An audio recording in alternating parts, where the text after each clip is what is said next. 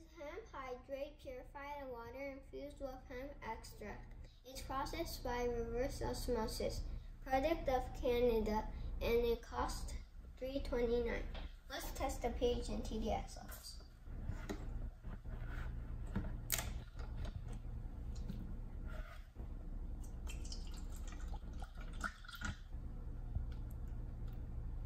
First, let's test the TDS level. If you want to buy this TDS tester, check the link down below. Turn on the TDS tester, make sure it says zero, and put it in.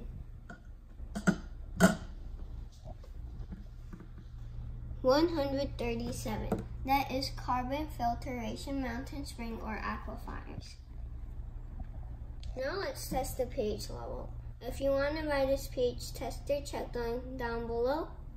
Only do two drops. Let's stir it a little for a better result.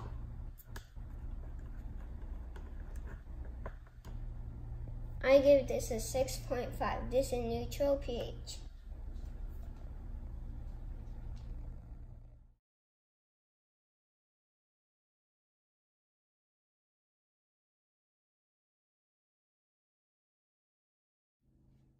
Stay tuned, like and subscribe.